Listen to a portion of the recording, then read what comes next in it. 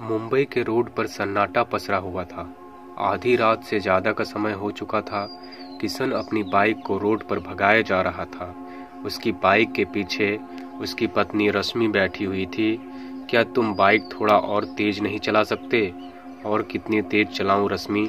अगर इससे ज़्यादा तेज चलाऊँगा ना तो फिर तुम ही कहोगी कि बाइक को थोड़ा धीरे चलाओ। कहा था ना, तुमसे कि शंभू काका के यहाँ अपनी कार से चलते हैं। लेकिन पता नहीं तुम्हें बाइक से ट्रैवल करने में कितना मज़ा आता है। मुझे कार से कहीं ज़्यादा बाइक अच्छी लगती है।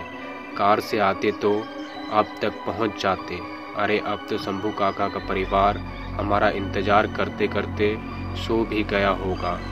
नहीं रश्मि, मैं अपने चाचा और चाची को अच्छे से जानता हूँ।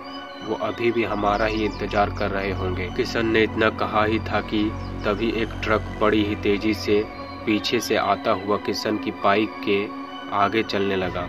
किशन बाइक का हॉर्न बजाने लगा, मगर वह ट्रक किशन को आगे निकलने की साइड ही नहीं दे रहा था। अजीब बदतमीज ट्रक ड्राइवर है। बाइक के हॉर्न की आवाज़ जंगली जानवरों के कानों में भी पहुँच रही होगी, मगर इस ड्राइवर तक नहीं पहुँच रही।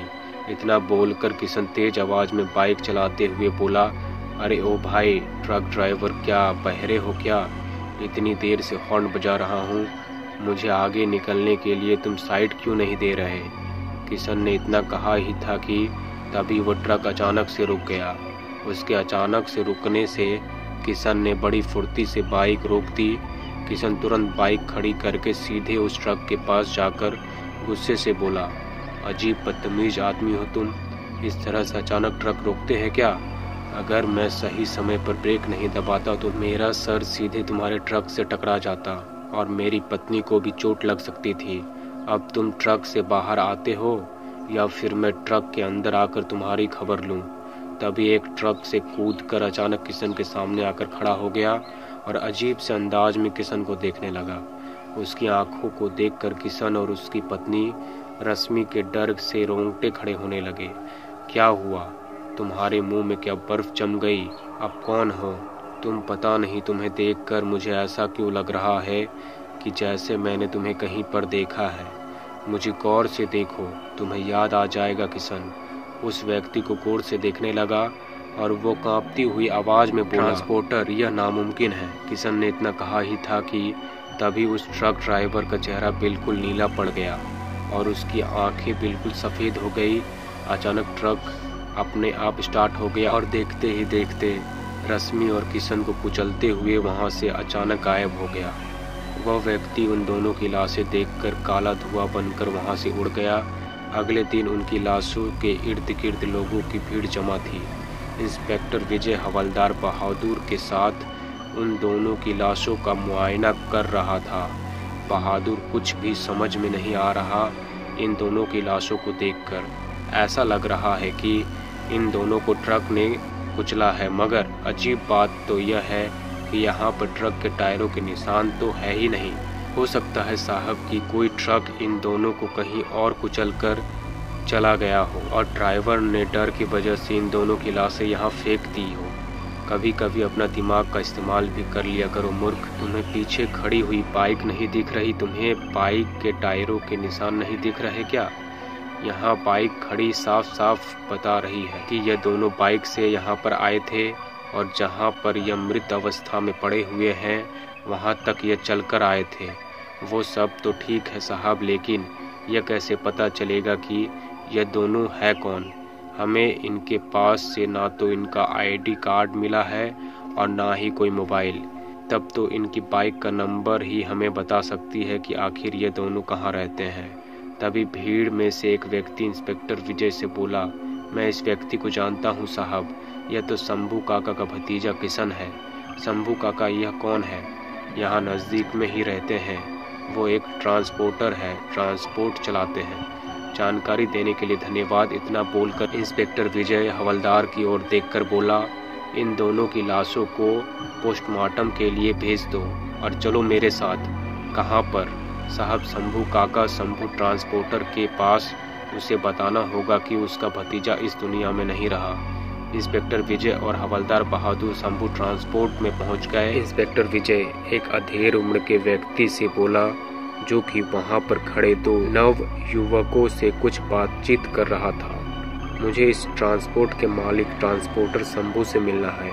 कहिए, मेरा ही नाम शंभू है। मुझे बताते हुए अच्छा तो नहीं लग रहा, लेकिन फिर भी आपको बताना तो होगा ही। हमें कुछ देर पहले आपके भतीजे किशन की लाश यहाँ से थोड़ी ही दूर रोड पर मिली है, और साथ ही वहाँ पर एक स्त्री की लाश भी पड़ी हुई है। मुझे लगता है वह शायद आपके भतीजे की पत्नी होगी। इंस्पेक्टर विजय की बात सुनकर शंभू अंधविश्वास भरी नज़रों से इंस्पेक्टर विजय की ओर देखने लगा तभी एक नव युवक इंस्पेक्टर की ओर देखकर बोला, आपको ज़रूर कोई गलत फहमी हुई होगी। इंस्पेक्टर साहब, तुम कौन हो? यह मेरा छोटा बेटा अज्जू है। इतना बोलकर शंभू दूसरे नव युवक की ओर इशारा करते हुए बोला, और यह मेरा बड़ा बेटा दरोगा है। दरोगा तो क्या? यह पुलिस में है। आप भी क्या साहब, आपको यह पुलिस में लगता है? इसकी शक्ल तो देखिए, दूर से ही लफंगा मालूम पड़ता है। अरे नहीं साहब, वो क्या है? कि यह थोड़ा दबंग स्वभाव का है। डर की वजह से लोग इसे दरोगा कहते हैं। शंभू की बात सुनकर हवलदार बहादुर इंस्पेक्टर के कान में मुस्कुराते हुए धीरे से बोला, सर यह झूठ बोलता है। इसकी लंबाई देखिए, चार फुट का तो यह खुद ही है। लोग इसे मज़ाक में दरोगा कहते होंगे। बकवास बंद करो बहादुर। आप तीनों लाश की पहचान के लिए थोड़ी देर के लिए ही सही थाने में आ जाइएगा। इतना कहकर इंस्पेक्टर विजय वहाँ से चला गया। पिताजी, आपको क्या लगता है? पता नहीं अज्जू, मुझे तो अब भी विश्वास नहीं हो रहा। तुम दोनों थोड़ी देर बाद पहचान के लिए थाने में चले जाना तो क्या आप हमारे साथ नहीं आने वाले? नहीं, इस उम्र में मुझमें इतनी हिम्मत नहीं। इतना कहकर शंभू वहाँ से चला गया। कुछ देर बाद अज्जू और दरोगा अपनी बाइक से थाने की ओर चले गए, मगर उनकी बाइक जैसे ही उस रोड पर पहुँची, अचानक दिन एक काली रात में परिवर्तित हो गया। यह क्या दरोगा भाई? अचानक रात कैसे हो गई? पता नहीं अज्जू कुछ तो गड़बड़ है। बाइक पीछे की ओर घुमाओ, तभी एक तेज तूफ़ान तेज हवा के साथ एक वीरान जगह पर उन दोनों को उड़ाकर ले गया। यह हम कहाँ आ गए दरोगा? दरोगा आँखें फाड़ फाड़ कर उस इलाके को गौर से देखने लगा। तभी उसकी नज़र एक बंद ट्रांसपोर्ट पर पड़ी। यह तो महावीर की ट्रांसपोर्ट है, अज्जू। क्या महावीर की ट्रांसपोर्ट ऐसा कैसे हो सकता है? तभी उस काली रात में अज्जू और दरोगा के इर्द गिर्द काला धुआँ मंडराने लगा और देखते ही देखते वो काला धुआँ एक व्यक्ति के रूप में परिवर्तित हो गया। उस व्यक्ति को देखकर अज्जू और दरोगा की आँखें दहशत से फटी की फटी रह गई। यह कैसे हो सकता है? तुम तो मर चुके हो ना? तुमने सही कहा, मैं मर चुका हूँ। मुझे मारने वाले कोई और नहीं, बल्कि तुम दोनों और तुम्हारे पिता थे। तुम दोनों की ज़ुबान मुझे महावीर चाचा कहते कहते नहीं थकती थी। मगर तुमने कुछ पैसों के लालच में, अमावास की रात में मेरी ही ट्रांसपोर्ट पर मुझे मौत के घाट उतार दिया। हमें माफ़ कर दो। हमें यहाँ से जाने दो महावीर चाचा। इस रात को देखकर तुम्हें कुछ याद आया। ऐसी ही वो रात थी जब तुम तीनों बाप बेटे ने मेरी गोली मारकर हत्या कर दी। क्योंकि तुम्हारे पिता को मुझसे बड़ा ट्रांसपोर्टर बनने का जुनून सवार था। आज मेरा ट्रक तुम दोनों की लाशें ट्रांसपोर्ट करके तुम्हारे पाप को भेंट में ज़रूर देगा। इतना बोलकर महावीर का चेहरा पकल नीला पड़ गया और उसकी आँखें की पुतलियाँ बिल्कुल सफ़ेद हो गई। कुछ ही क्षणों में वह सारा इलाका भयानक कुत्तों के रोने की आवाज़ से गूंज उठा।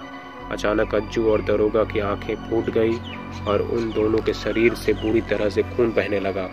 मानो कि उन दोनों के शरीर को किसी ने गोलियों से छल्ली कर दिया हो।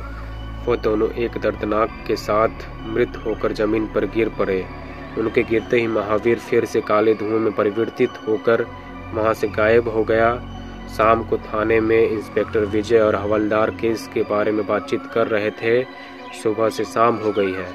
शंभू, अभी तक आपके भतीजे की लाश की शिनाख्त के लिए शंभू जी यहाँ नहीं आए, पता नहीं। कैसे रिश्तेदार हैं। अपने भतीजे की मौत की खबर सुनकर भी थाने नहीं आए। तभी टेबल पर रखे हुए फ़ोन की घंटी झंझना उठी। इंस्पेक्टर विजय ने तुरंत फ़ोन उठा लिया। हेलो, मैं इंस्पेक्टर विजय बोल रहा हूँ। फ़ोन पर एक डॉक्टर की आवाज़ आई। मैं डॉक्टर बोल रहा हूँ। इंस्पेक्टर विजय, आपके लिए एक अजीब सी खबर है। कैसी खबर? हम किशन और उसकी पत्नी का पोस्टमार्टम कर ही रहे थे कि अचानक उन दोनों की लाशें हमारी आँखों के सामने अस्पताल से गायब हो गई। क्या बकवास कर रहे हो, डॉक्टर? ऐसा कैसे संभव हो सकता है? यही तो मेरी समझ में नहीं आ रहा कि ऐसा कैसे हो सकता है यह कैसे मुमकिन है। इसीलिए हमने आपको बताना सही समझा, इतना कहकर खून कट गया। क्या हुआ, सर? डॉक्टर बता रहा था कि पोस्टमार्टम करते हुए उन दोनों की लाश एकदम से गायब हो गई। क्या बात कर रहे हैं आप? ऐसा कैसे हो सकता है? कुछ तो गड़बड़ ज़रूर है। हवलदार लगता है, अब मुझे शंभू ट्रांसपोर्टर से अपने तरीके से बात करनी पड़ेगी। चलो मेरे साथ। इंस्पेक्टर विजय हवलदार के साथ सीधे शंभू ट्रांसपोर्टर पर पहुँच गया। इंस्पेक्टर और हवलदार को देखकर शंभू पूरी तरह से चौंक गए। बोले, क्या हुआ इंस्पेक्टर? अब क्या बुरा समाचार लेके आए हो? जब हमने तुम्हें लाश की शिनाख्त के लिए बुलाया था तो तुम थाने क्यों नहीं आए? ये कैसी बातें कर रहे हैं? आप मैंने अपने दोनों बेटों को दोपहर में ही थाने भेज दिया था। क्या वो अभी तक थाने नहीं पहुँचे? नहीं, हम सुबह से थाने में इंतज़ार कर रहे हैं। थाने तो अभी तक नहीं पहुँचा, पर एक अजीब सी खबर मेरे कानों में ज़रूर आई है। कैसी खबर? किशन और उसकी पत्नी की लाशें अचानक डॉक्टर की आँखों के सामने से गायब हो गई। यह सब क्या माजरा है, इंस्पेक्टर विजय? की बात सुनकर शंभू ट्रांसपोर्टर पूरी तरह से चौंक गया। यह कैसी बातें कर रहे हैं आप? ऐसा कैसे हो सकता है? वही तो मैं तुमसे पूछने के लिए आया हूँ। ऐसा कैसे हो सकता है? इंस्पेक्टर विजय ने इतना कहा ही था कि तभी एक तेज़ी से आता हुआ ट्रक शंभू ट्रांसपोर्टर के ठीक सामने आकर रुक गया। इंस्पेक्टर विजय ने जैसे ही ट्रक की ड्राइविंग सीट पर नज़र डाली, उसकी आँखें दहशत से फटी की फटी रह गई। उसने देखा कि ड्राइविंग सीट पर कोई नहीं था। क्या हुआ साहब? आपकी आँखों में यह डर कैसा? हवलदार ड्राइविंग सीट पर कोई मौजूद नहीं है। फिर ट्रक कौन चला रहा था? ट्रक को देखकर शंभू पूरी तरह से कांपने लगा। हवलदार इस ट्रक की तलाशी लो। हवलदार ने जैसे ही ट्रक को पीछे से खोला तो अंदर का दृश्य देखकर वह पूरी तरह से सहम उठा। अंदर चार लाशें बुरी बुरी अवस्था में पड़ी हुई थी। उन लाशों को देखकर शंभू फूट फूट कर रोने लगा। अरे यह दो लाशें तो तुम्हारे बेटों की है। और बाकी दो लाशें तो उन दोनों की है जिनका सुबह एक्सीडेंट हुआ था। मैंने इन दोनों लाशों को ही तो पोस्टमार्टम हाउस में भिजवाया था और डॉक्टरों की आँखें के सामने से वहाँ से गायब हो गई थी। यह ट्रक के अंदर कैसे आई और तुम्हारे बेटों को किसने मारा? आखिर यह सब हो क्या रहा है? इंस्पेक्टर विजय ने इतना कहा ही था कि तभी फिर से वही काला धुआँ उन सब के इर्द गिर्द मंडराने लगा और देखते ही देखते वह काला धुआँ महावीर के रूप में परिवर्तित हो गया। महावीर को देखकर शंभू डर से थर थर कांपने लगा। अपने सामने इस दृश्य को देखकर इंस्पेक्टर विजय और हवलदार भी अंदर से काँप कर रह गए। मुझे देखकर काँप क्यों रहे हो शंभू? उस रात तो बहुत ही दिलेर बन रहे थे। जिस रात तुमने और तुम्हारे इन दोनों पेटों ने मेरी गोली मारकर हत्या कर दी थी और तुम्हारे भतीजे किशन ने अपनी पत्नी रश्मि के साथ मिलकर मेरी ट्रांसपोर्ट के पीछे उस अंधे कुएँ में फेंक दिया था मुझे। मुझे माफ़ कर दो, मैं लालच में आ गया था। मुझमें तुमसे बड़ा ट्रांसपोर्टर बनने का जुनून सवार हो गया था। लेकिन तुम तो मर चुके हो। तुम वापस कैसे आ गए? जिस रात तुमने मेरी हत्या की, वो रात काली अमावस की रात थी। और जिस अंधे कुएँ में मेरी लाश फेंकी गई, वो कुआँ साबित था। मेरी आत्मा बदला लेने के लिए तड़प उठी इतना बोलकर महावीर का चेहरा फिर से भयानक हो गया और अचानक शंभू के शरीर के परखच्चे उड़ गए। महावीर एक काले धुएँ के साथ वहाँ से गायब हो गया। सब कुछ इतनी जल्दी में हुआ कि इंस्पेक्टर और हवलदार को कुछ सोचने समझने का मौका ही नहीं मिला। सर यह क्या था? शायद किसी निर्दोष ट्रांसपोर्टर ने अपने ऊपर किए गए अत्याचार की सजा भूतिया ट्रांसपोर्टर बनकर इन हथियारों को दे दी। लेकिन सर, हम रिपोर्ट में क्या दर्ज करेंगे? यही कि इन पाँचों को कोई ट्रक कुचल कर चला गया और इंस्पेक्टर विजय ने यही किया और फ़ाइल को बंद कर दिया। और आज भी इंस्पेक्टर विजय उस घटना को नहीं भूले। तो दोस्तों, ये कहानी आप लोगों को कैसी लगी? हमें कमेंट करके ज़रूर बताएँ। ऐसी और भी कहानियाँ सुनने के लिए हमारे चैनल स्टोरी हंगर को सब्सक्राइब करें। Thank you.